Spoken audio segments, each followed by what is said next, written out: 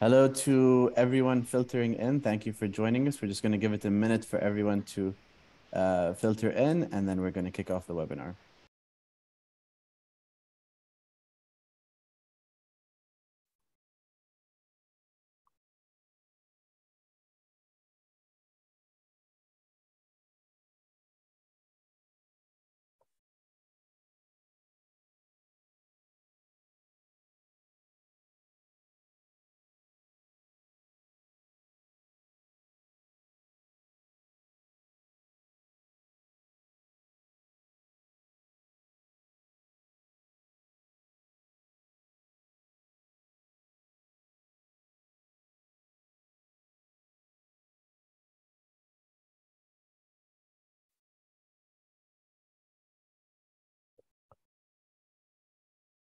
So, uh, thank you to everyone joining us here today. Um, a very good afternoon to everyone. My name is Mohammed Al Musa, and I'm the program manager leading the Governance and Family Firms program, as well as the Governance and Tech program here at the Pearl Initiative. It is my honor and privilege to welcome you to today's webinar on leveraging culture for growth. We would like to thank our speakers in today's discussion, Christina Andreassen, Lajane Al Barghouthi, and Tarek Bolbol. And thank you for all of you tuning in today. Before we launch into our discussion, I'd like to start by first introducing the Pearl Initiative. We are the Gulf region's business-led nonprofit organization set up by Gulf regional business leaders and the United Nations Office for Partnership in 2010 to support the growth of corporate governance, stewardship, transparency, and accountability in the private sector. We would like to play a short video showcasing the Pearl Initiative and what we do.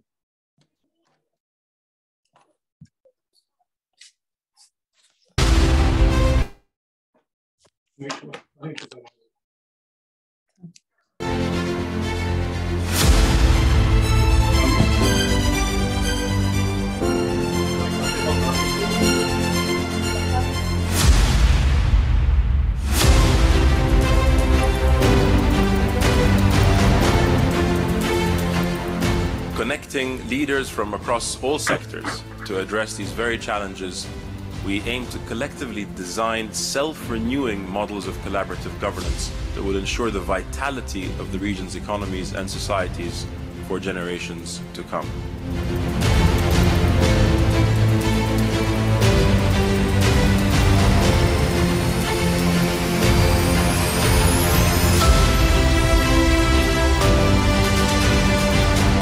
The youth are the future workforce they are the future leaders uh, for the businesses that fuel the growth of the region.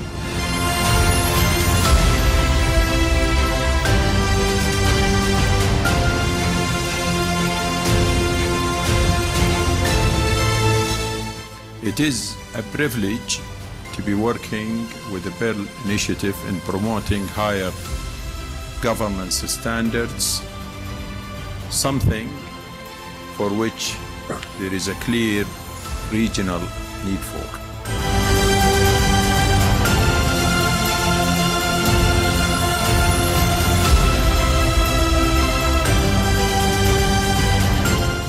For our businesses, for our community, the more we engage the youth, the students at universities, the youth in their businesses, entrepreneurs, that is the area I think we should focus uh, going forward.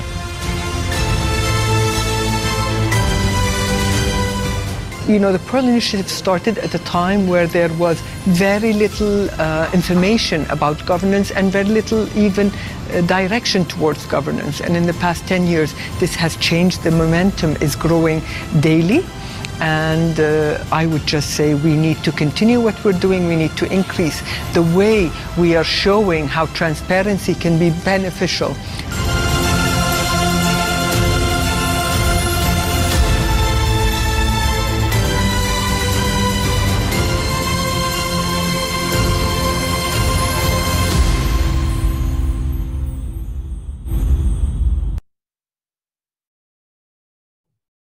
Thank you for all of our attendees for today's discussion. We have a fantastic webinar planned for you today with a wonderful, with wonderful and experienced speakers.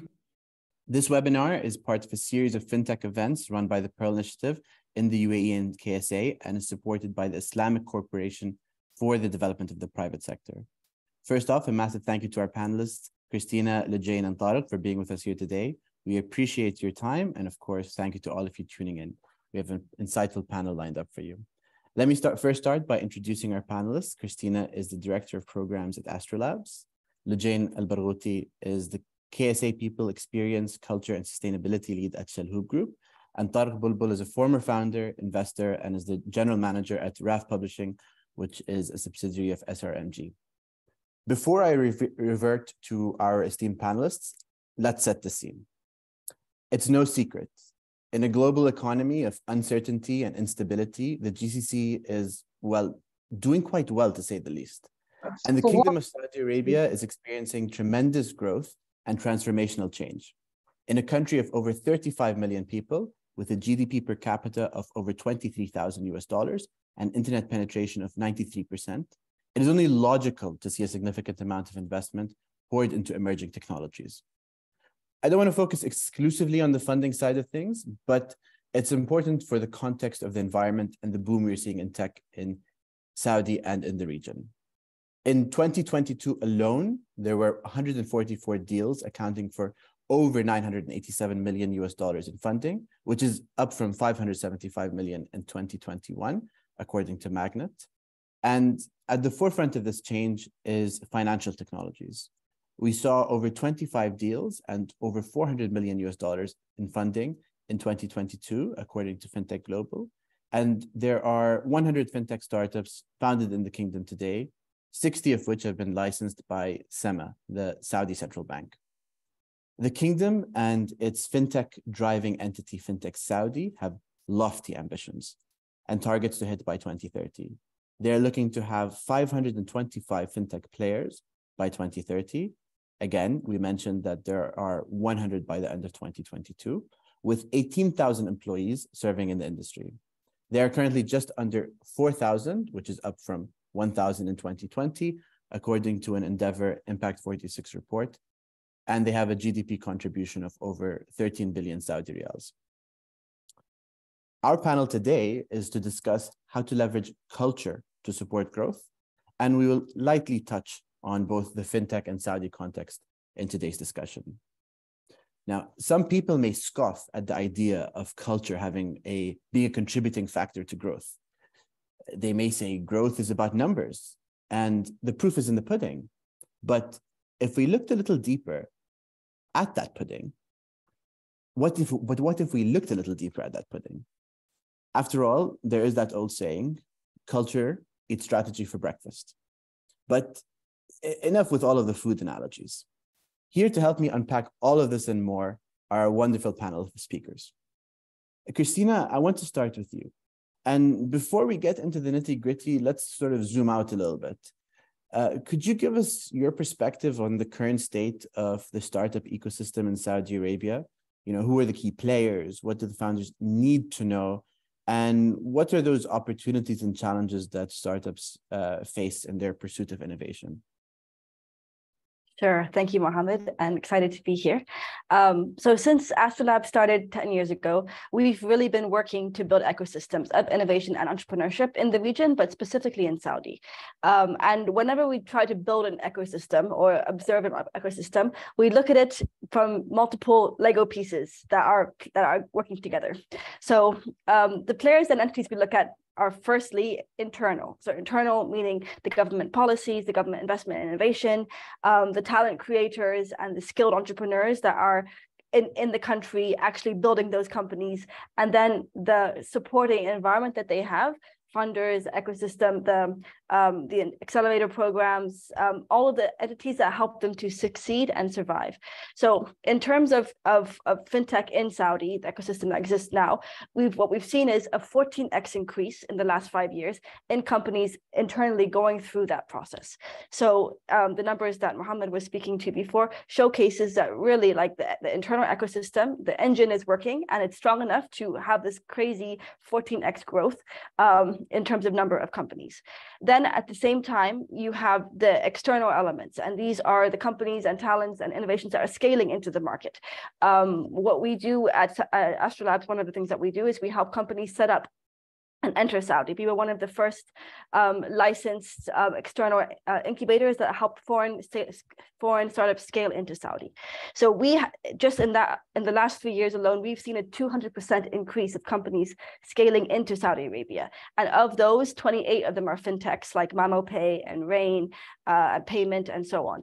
So we definitely also see strong inflows coming into the ecosystem. All of these are signs of you know a pretty healthy and upward related trend what that means for entrepreneurs or for startups to contextualize it um, so if we look at like op- opportunities and challenges for fintech specifically. Um, I think on the, the, the, first front is regulatory. Um, and what we're seeing is SAMA, the Saudi Central Bank, being quite bullish in terms of the regulations that they're that they're experimenting with or that they're introducing. Um, the open banking framework, which they just announced, one of the first in the region, um, is opening a huge amount of opportunities and doors for fintechs within Saudi. So that that alone is a huge opportunity um, for entrepreneurs. The flip side is that the regulatory does pose some challenges for fintech entrepreneurs, specifically around the minimum capital requirements that they have, which can be quite high depending on what you're trying to do. Um, they have a lot of of regulatory when it comes to AML, KYC, um, tax, data privacy. So there's a quite a strong need to adhere to a pretty layered number of, of regulatory. So these are two things that, you know, to keep in mind. Um, the second, you know, opportunity really, I, I think is around funding um, because like the investment landscape in Saudi, specifically in fintech is, is booming. And the fintech, the same fintech strategy also is trying to increase the number of VC investments to go um, to 3.2 um, from the current 3.2 billion dollars um, up to six sorry sorry to get to get to 3.2 billion dollars from the current 647 so uh, 7 million that is it is not right now. So there should be a huge increase in um, funds opening up specifically to invest in fintech. And because the deal flow in the country locally is not as strong, that is also a really good opportunity for good fintechs to be able to capture and tap into that um, that that um, money um, and that funding. And I think the third element that is also really exciting is the consumer behavior change that we've seen in the market there. Um, we work a lot in the SME sector um, to build it, and we've seen first of all a big growth in the SME sector, but also a big move towards digitization in the SME sector. And similar to how the UAE saw this e-commerce wave that then powered fintech and last mile solutions. Um, with Saudi is going to the same thing, where we have a big uh, population of SMEs coming online, um, expecting to shift from cash and delivery to more digital payment solutions, expecting more buy now, pay layers, pay later solutions and so on. Um, and these this is also a really exciting opportunity that fintechs can capture. Um, and then not to mention, of course, the market size itself with, you know, you know, 30 million social media users, uh, you know, 80% of the population being very active online. Um, all of these things contribute to a really healthy and growing market that entrepreneurs can access. You know, this is the fourth of uh our, our series of conversations around fintech, uh, both in the UAE and Saudi. And, and every single time we do one of these, we get into the very sticky subject of regulations very quickly. Uh, in fact, our second session was specifically on regulation in the GCC. Uh, I, I, so moving on from one sticky subject in regulation to another sticky subject in, in, in culture in a corporate, um, we chose the best sort of, of the bunch, I, I think, um, and Chalhoub Group is quite unique in, in, in sort of their approach to uh, transformation and change and, and, culture as well. So, Lujain, working within Chalhoub Group, how have you been able to cultivate a culture of innovation, uh, you know, within a family business? And what are the core values that the organization promotes? Uh, thank you, Mahmoud. Well, basically the whole um, group started back in 1955 where Michelle and Medad Chalhoub started their journey as two entrepreneurial spirits with a dream in Damascus. Um, they opened the first Christofle Boutique through embracing their entrepreneurial spirit. spirit. So the first core value was uh, embedded by nature in, in Chalhoub Group, which is entrepreneurial spirit. Um, now, since I mentioned one of our values, let me answer the second part of, uh, of your question. So we have uh, respect, excellence, and entrepreneurial uh, spirit. Um, we strive to build this long-term relationship with our people, customers, partners, based on these values. Uh, we also place a strong emphasis on uh, sustainability and the social responsibility, uh, like uh, fine tech, for example, it's um, uh, in a way under social responsibility, responsibility with um, initiatives uh, focused on reducing our environmental impact, giving back to our communities. So these basically are um, our core values in the group. Now, going back on the ways we have been able to uh, cultivate a culture of innovation is mainly through um, encouraging collaboration as it's a, an essential part of entrepreneurship. Uh, we encourage our people to work uh, collaboratively, share ideas, seek feedback from their colleagues. This helps to create an environment that is uh, conducive to innovation. Uh, in addition, maybe to promoting uh, collaboration, as I mentioned, uh, we also place a strong emphasis on continuous learning and development, as we believe it's essential for fostering an entrepreneurial mindset. Uh, we, we have established an Hoop University to provide our people with access to training programs, workshops, other resources to help them develop their skills and stay up to date uh, with the latest uh, industry trends. Um, also, maybe having an, uh, a diverse teams encourage much deeper conversation as a wider set of skills, backgrounds, uh, and ideas that for sure uh, affected innovation more positively. Um, uh, of course, let's not forget our uh, program, which is uh, exclusive to our people, uh, where they can submit ideas, potential to make significant impact uh, on our business. Uh, unlike our greenhouse accelerator prog program, it started back in 2018.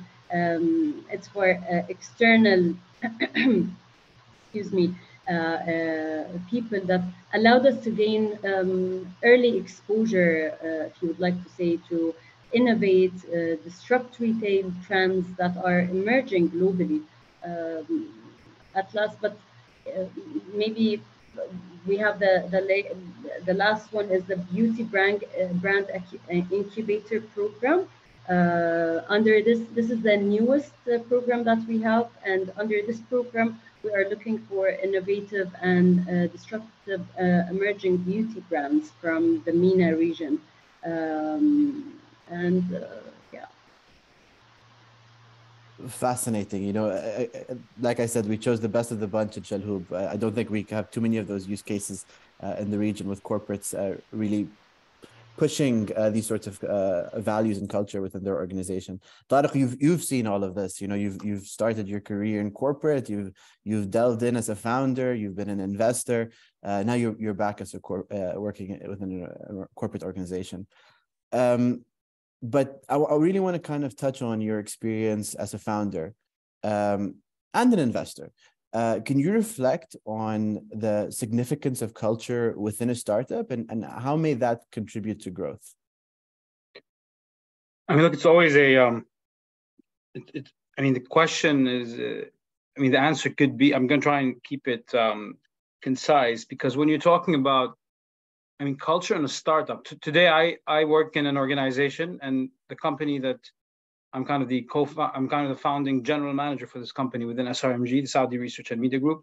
So it's like a startup that's corporately corporate backed.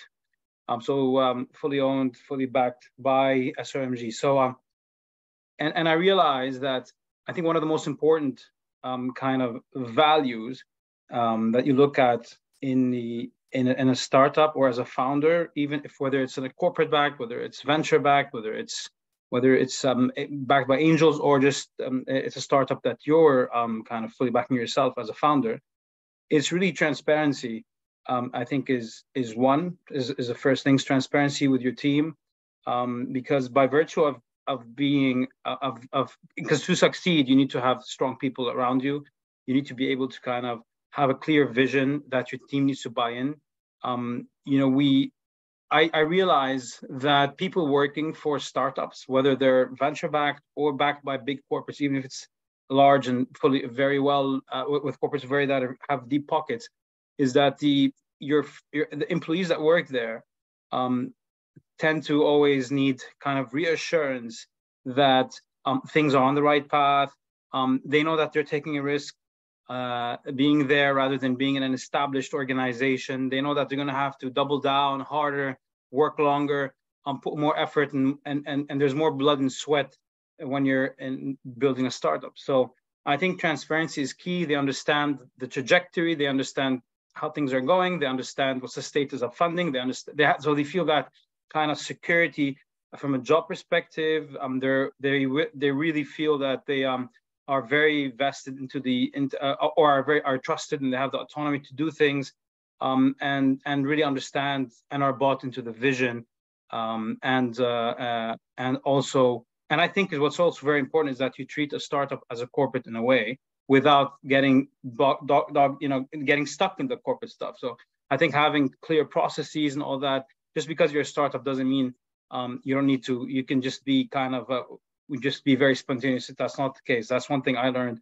going from corporate to startup to corporate, um, and being an investor in between and talking to founders of whether because I did private equity and venture capital. So I've, I've kind of worked with established organizations uh, or or founders within established organizations or founders within emerging uh, or startups. So what you realize is the, the startups that have a very strong value system that really speak um, uh, or communicate clearly to their people um, and um, and kind of really operate um, in a process-oriented manner tend to be the ones that kind of um, have the best uh, kind of uh, uh, you know can have the best path to success.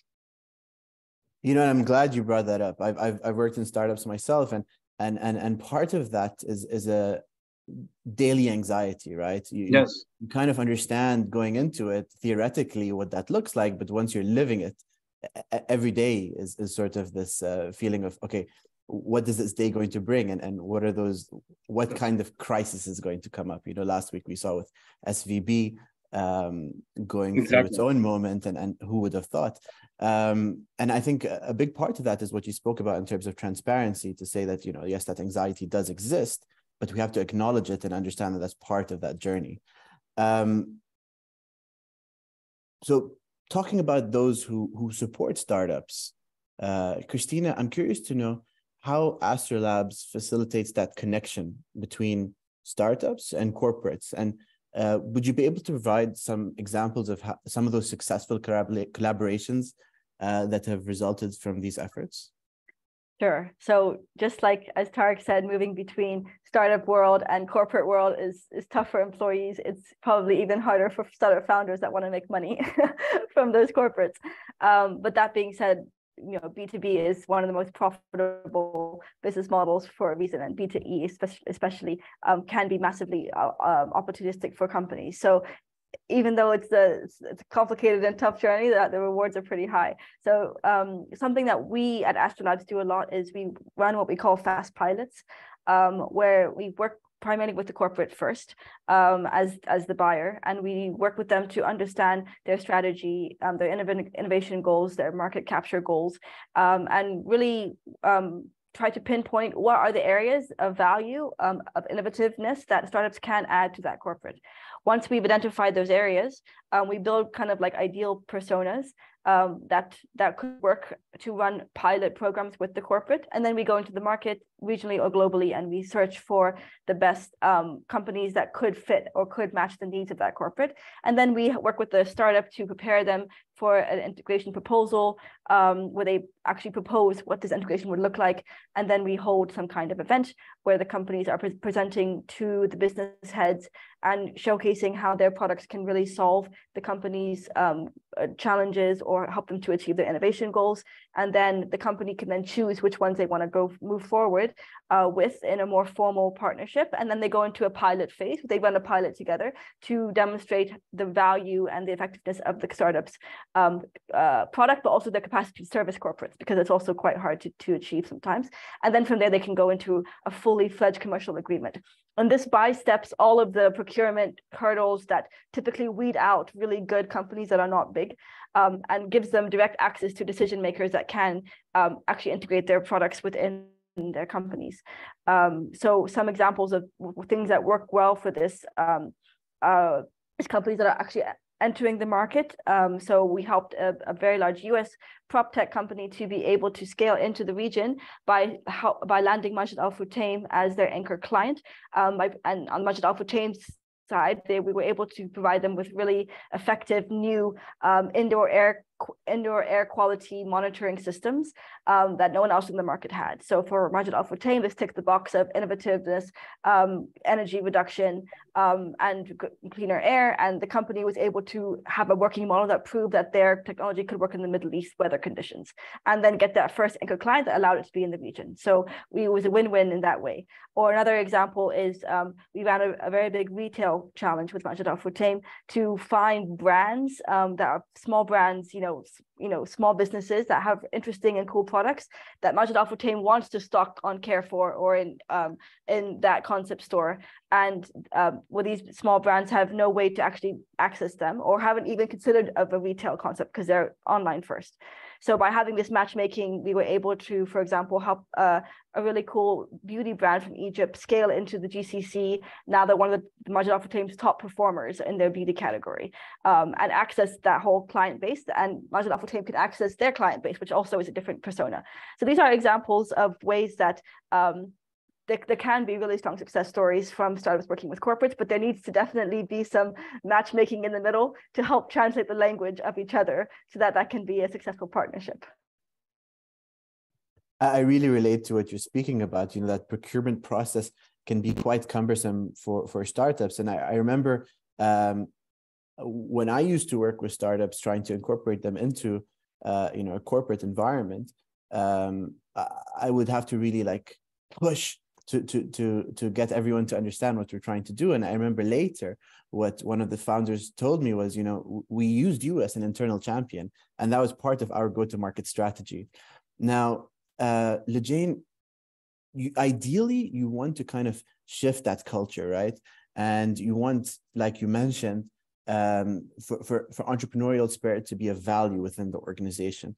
But when you're looking at the day to day work, how do you encourage employees to foster innovation beyond just sort of those uh, quote unquote innovation projects?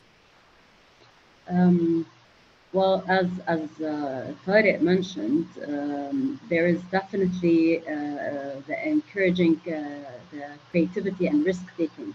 Eventually, uh, we encourage our people to to to think creatively, take uh, calculated risks. Of course, we believe that innovation cannot be achieved uh, without taking risks and trying out new ideas. Um, therefore, we do provide our people with supportive environment that encourage uh, uh, experimentation and innovation. Um, on the other side, uh, we also promote uh, ownership. We encourage people to, to take ownership of their ideas. We believe that uh, when our people feel this, they are more likely to take initiatives and drive innovation um, um, basically if um, if you are an employee who looks to foster innovation beyond the specific uh, innovation project, uh, I believe personally it's about uh, staying uh, curious, uh, always be curious to and open to new ideas. take the, the, the time to learn about different industries, technologies, uh, attend conferences, webinars, um, maybe also to uh, being a problem solver, uh, some critical thinking, look for opportunities to solve problems, stretch yourself, get out of the comfort zone, to, and create value. Uh, take initiatives and um, not to be uh, afraid to, to take uh, the, the risk. Also, building relationship. Um, Christina just mentioned how important building relationships uh, with colleagues, clients, partners uh, can help you to gain new perspectives and insights. Uh, it can help you to find new opportunities, um, basically. So all this would fall under uh, the fear that we, we don't jump into taking these um, these pillars. So embracing failure as well. Excuse me. Fail failure is an inventable part of innovation. Uh, I'm sure uh, Tarek and Christina would also uh, maybe relate to that. Uh, learning to embrace it and, and use it as an opportunity to learn and, and grow. So it's all about not being afraid to take risks and try again and again and again. Absolutely. I think, uh, you know, sometimes those old tropes, they, they, they say it best, you know, uh, there's nothing to fear more than fear itself. Um, and, and, and fear is, is a daily occurrence in a startup. Uh, and, and Tarek, you know, we, we touched on these things, but uh, let's go back to food, you know, and, and let's go back to pudding actually. Um, uh, so this pudding of culture, uh, what are the essential elements for building a strong culture within a startup? You know, and how do these principles uh, guide interactions with with larger corporates? You know, like how do we put that secret sauce together uh, and, and, get these large corporates to feel like we're trustworthy? That that you know the fear that they might have um, trying to, to, to partner with us, we, we alleviate that pain. You know, I think when it, when it comes to interaction with corporates, and I mean, when you're a startup and you know B2B, as was mentioned, is is so key. You know, you always want to latch on to a corporate in the in the early stage of your start, or at any stage of being a startup, because that's where your core business can come from, and that's the that's your sandbox where you can kind of learn and, and build something that becomes then s- scalable for the consumer market. If you look at, I mean, Microsoft, Microsoft was built on the back of, of selling of, of IBM being their first customer. And that then that propelled them to the stratosphere. And if you look at, I mean, so, so I think one of the main elements of a successful culture is really execution. I think execution is so important. Um, personally, I see it lacking a lot of times in startups or even in, in companies where you get either first uh, by virtue of being a, of being a founder we tend to some, some to sometimes live in the clouds and and and you're attracting people just like you are as excited and as dreamy as you that want to come and build that vision but sometimes you can get stuck in in dreaming or over planning or over processing that's another kind of negative thing you can bring in from corporate to startup is bringing this over processing things and getting stuck in having this analysis paralysis and stuck in meetings and PowerPoint and stuff like that, and just missing what's important. So I think the culture of ex- execution is so critical, so important. This, you know, being thorough um, and delivering, because that's when a corporate will really feel that they're making, they're getting value from you, and then you can upsell them. Then they can actually tell you, you know what, I want to I want to do this, this, and that. I want to build this kind of product. Seems you can do that. So, you know, there's some transferable skills here. Can you do that for me? So you end up growing as an organization with that client, with that corporate. Um, and if you're flexible and open-minded, you you might realize that you're pivoting as a business as well, and you're not trying to just be stuck to where you are. So I think yeah, I, I think execution, execution, execution.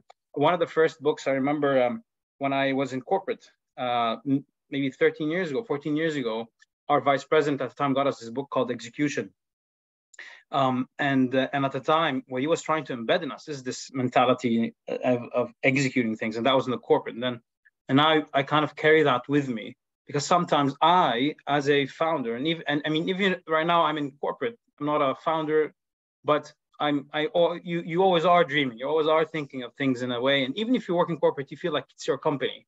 You know sometimes i act like SRMG is fine. It's not a, so you always kind of have that mentality where you are always you feel this strong ownership and passion for things but you know you must not forget that you really need to execute and, and close loops and get things done and, and deliver. So i think i would say execution um, times 10 i remember uh, trying to build something in the mid the very beginning of the pandemic and, and uh, you know every day we used to wake up and you, you just stuck at home uh, and thinking, oh my God, you know, I'm trying to overcome just these these crazy thoughts, you know, like uh, where are we going in the world? And and then remembering, oh no, I, uh, if if I don't build this thing, then you know, at the end of the day, there would have been no progress. So I completely agree with this execution okay. thing. Um, but before we go on to our next question, uh, uh, this this living in in the clouds thing. Um, it, it reminded me of a session, another fintech session that we did, where we had a founder who was adamant that governance is not important for fintechs. Mm. Uh, and it, it kind of blew my mind and blew the mind of the speakers as well on the day. Uh, and, and I think that kind of contributes towards that, that idea of separation between um, the dream world of the startup and then the reality of, of, of uh, what you will face when you try to, to work with corporates. And I, and I want to, and I'm introducing this here because I'm going to sort of, when we end the session, uh, come to all of you and ask you that very quick question of growth versus governance. Uh, and just curious to see what your thoughts are on that. Um, but but going back to you know how do startups work with with corporates? Uh, Christina, I understand that AstroLabs helps corporates create their own innovation programs. You know, accelerator, incubator programs. Um, you've previously worked with Chalhoub Group, for example, and to support them in their uh, and, and greenhouse initiatives. Um, can you share any success stories that illustrate the benefits for both corporates and startups?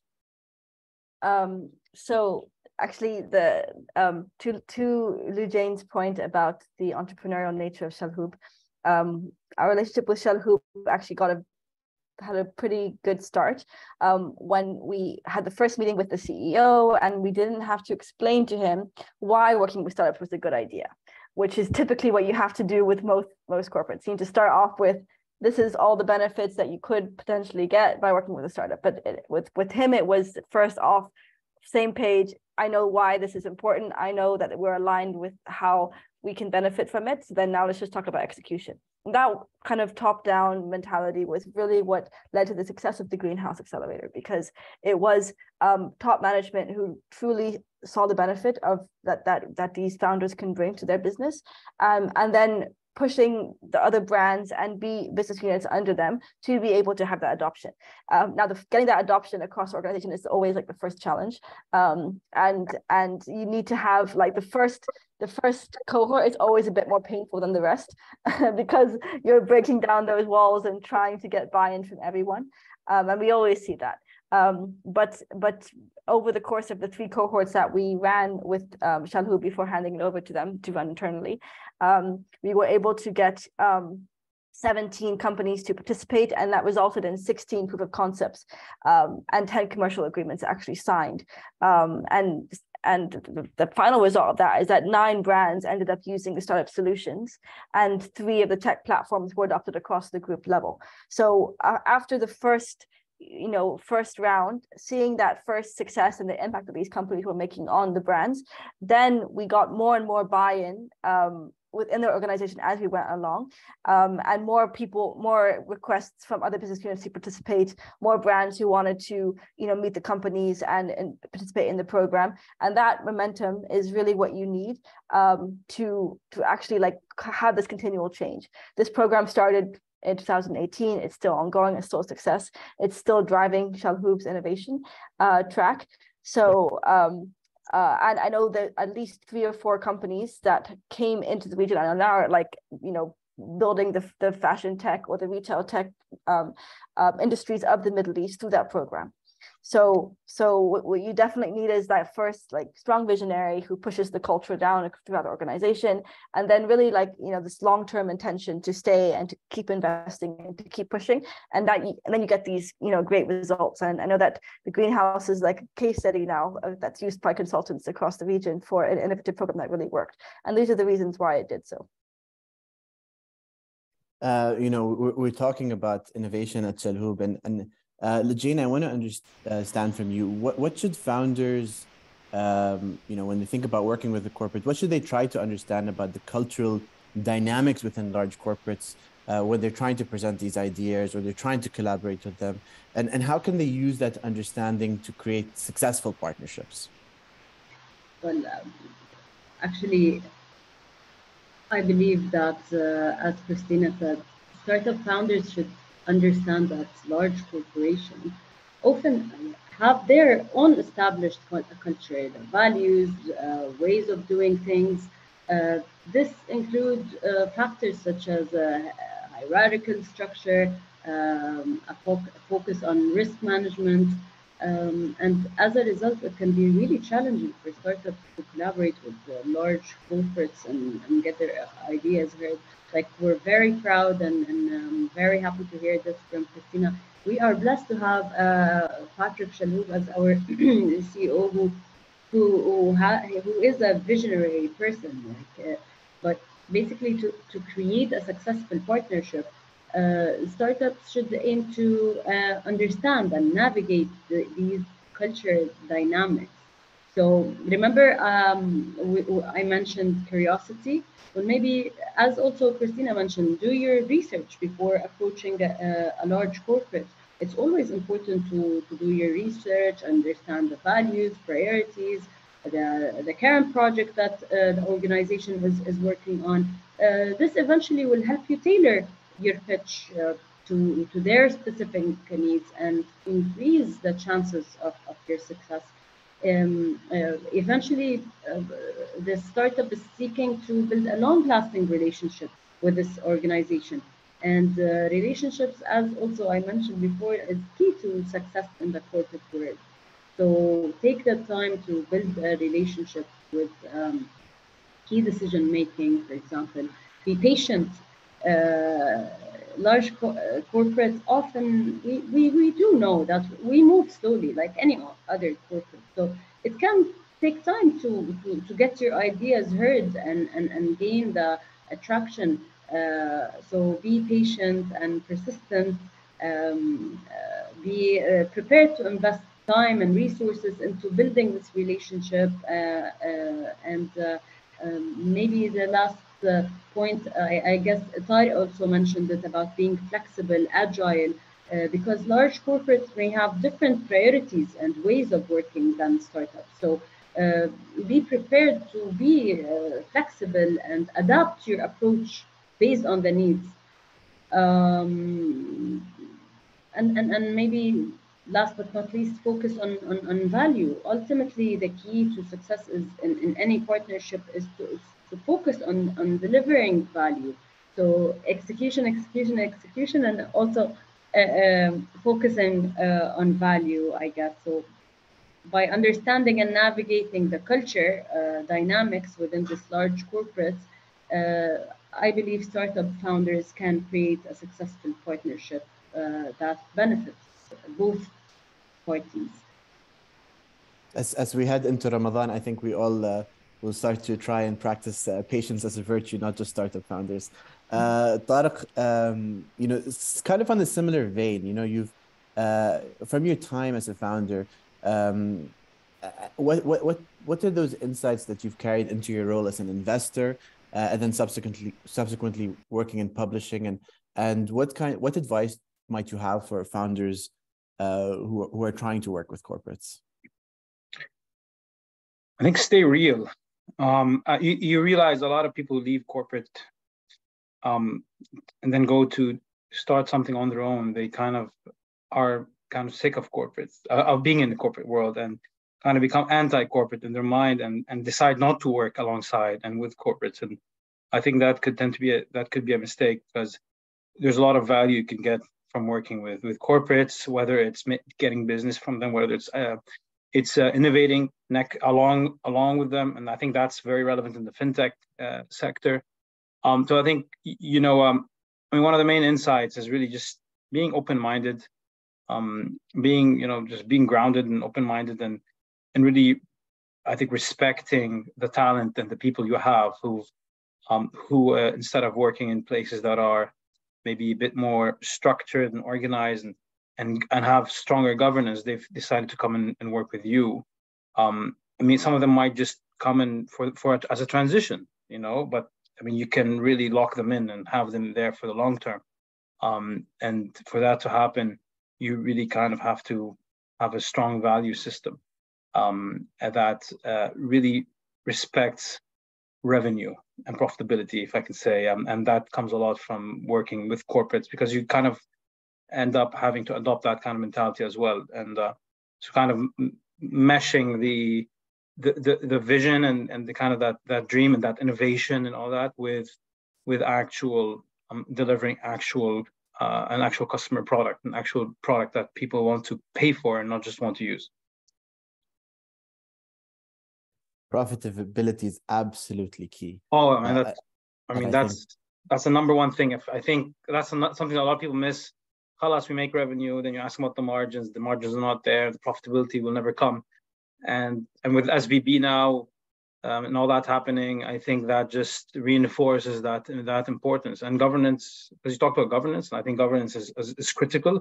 The only reason why I think today the banking sector in the U.S. has not collapsed and why people are able to get some of their money back is because of regulation and because of governance in the US. So, you know, I think governance and regulation is key. And if and as a company, I think you would you will see the value of it down the line, but trying to adapt to it is hard and trying to work with, especially if you're in fintech, if you're in health tech, if you're in biotech, there's a lot of regulation you need to work with. But I think if you're raising funding, you need to cater to that. You need to make sure you have a team that can work and, and focus on making sure you're you're you're, um, you're compliant and at the same time um, you gives you enough runway to kind of because things are just longer leads in several separate in specific sectors so yeah so let's say you know you're a founder and you've taken the advice of Lujain and you've taken the advice of Tarek and you've taken the advice of Christina um, and you've gone to VCs and you've raised you know a beautiful Series C uh, and you see Saudi Arabia is booming, you're ready to scale. So, Christina, could you share with us how AstroLabs supports founders in their journey to set up in Saudi Arabia, and, and how do you help them navigate that process? Sure.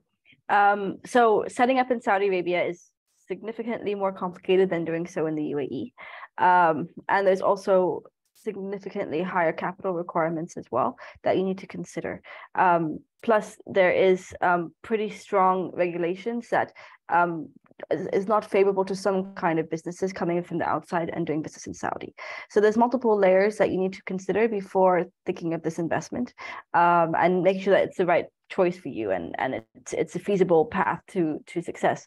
You know, I, I know every startup deck in the probably in the region when VCs ask them which country they're going to go into next, they always put Saudi because it's the biggest market. Um, but the actual like logistics of it is slightly more complicated. Um, so what we have um, we have a very large company setup team. Um, as mentioned, like we've had a 200% growth over the years. So over the last three years, so we've invested a lot in this space.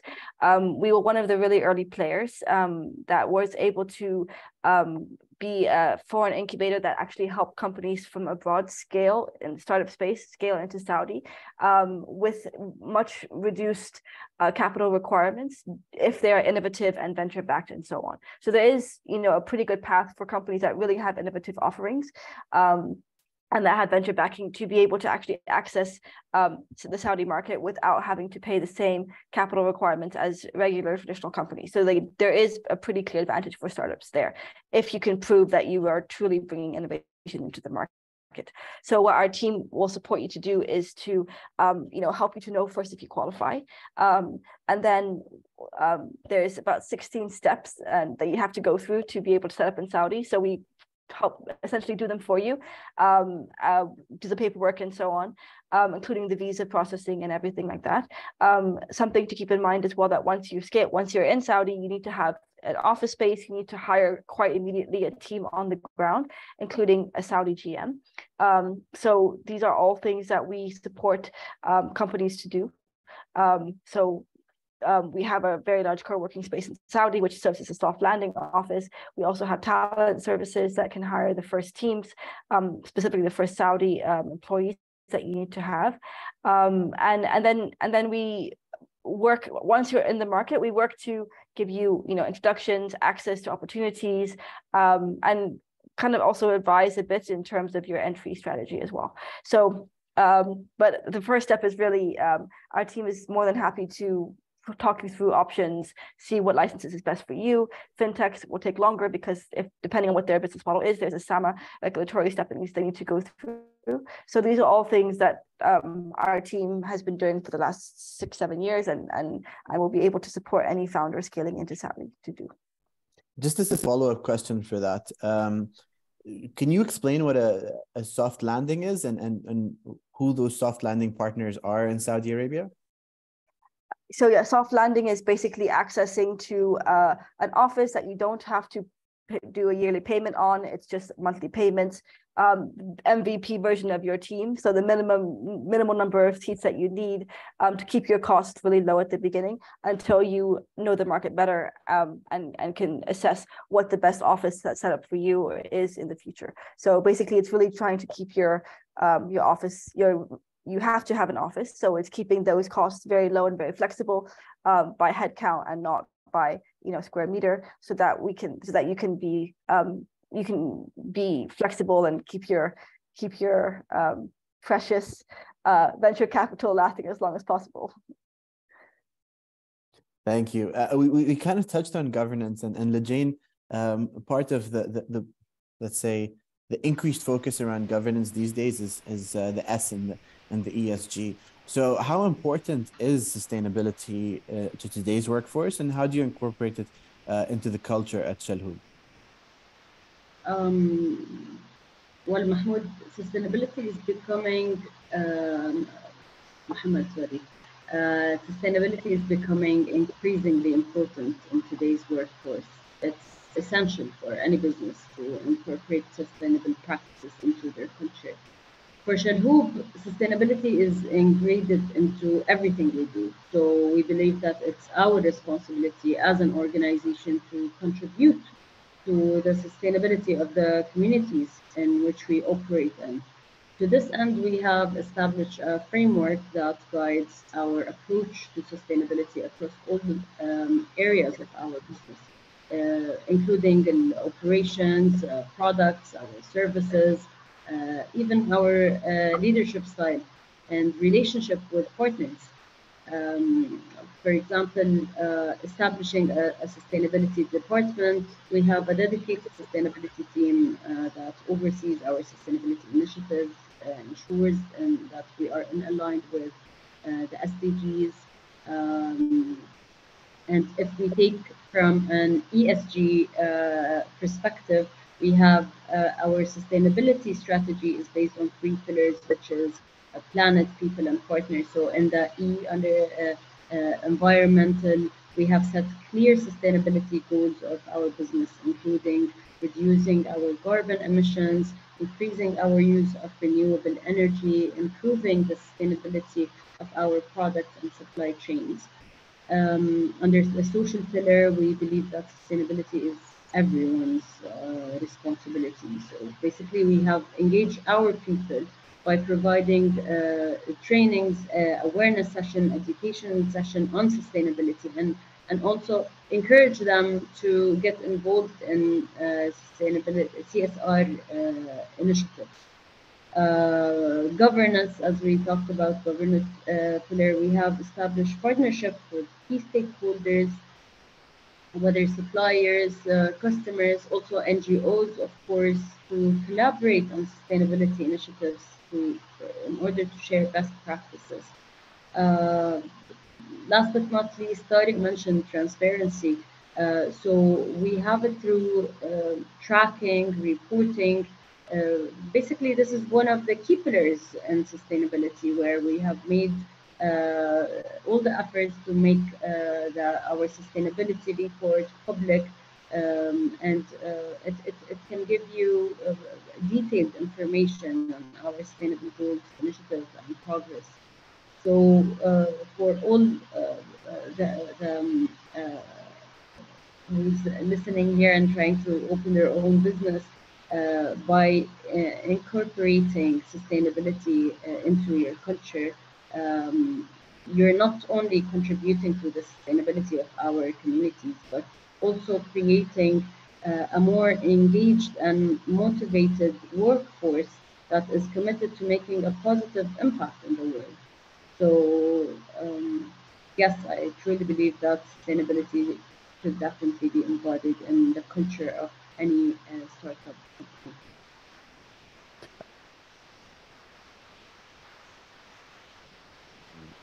Again after three years still muting ourselves uh Tarek needs to jump off so before he thank you so much everybody thank you.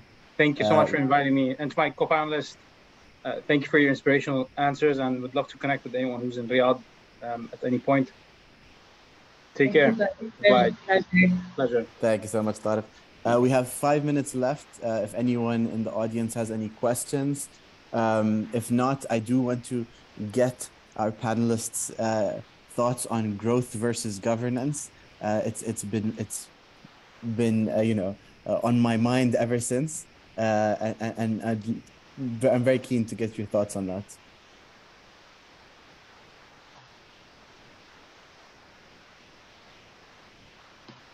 So my take on it is you need to have growth first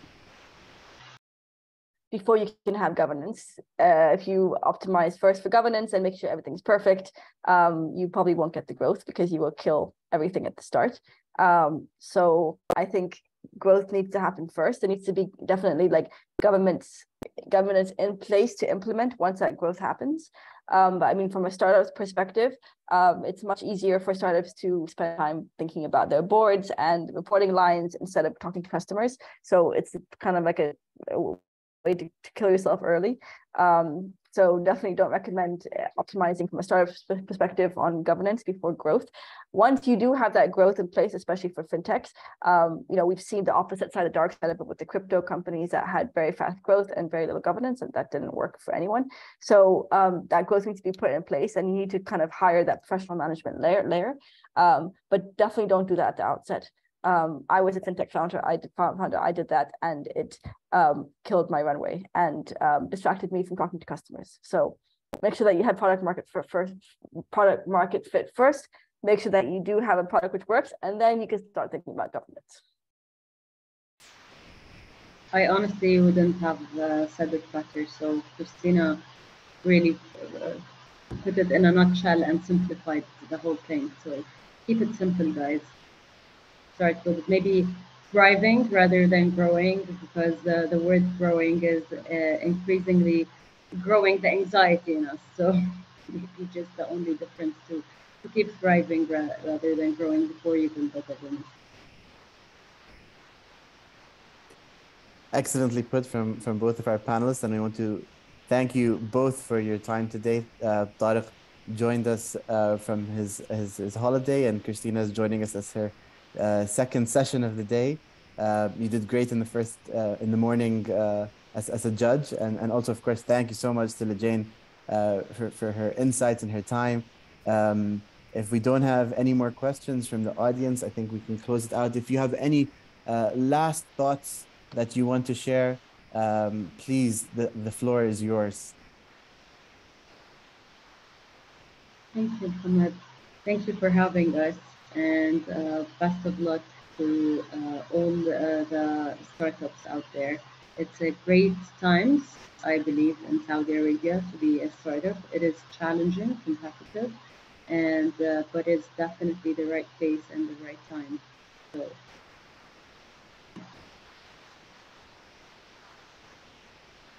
Uh, yes, it was uh, a super interesting discussion. Um, definitely, I think one thing to take away from all of this um, is that uh, you know whatever we're doing to grow, it requires really like a long game, and you know playing the long game, consistent, consistently investing in culture. Culture is a long-term investment. Um, so these things are like going into a culture transformation journey takes a long time and takes you know years and i think saudi arabia is now seeing the results of many years of, of continued investment so i think um, just to kind of close off like anything that has to do with changing culture requires a lot of time and a lot of consistency thank you christina yeah. Thank you, Christina. Thank you, Lujain. And thank you to Tarek. And thank you for all of you tuning in today. And uh, we hope to see you soon on one of our future events. From everyone at Pearl Initiative, thank you and good evening. Thank you. Bye.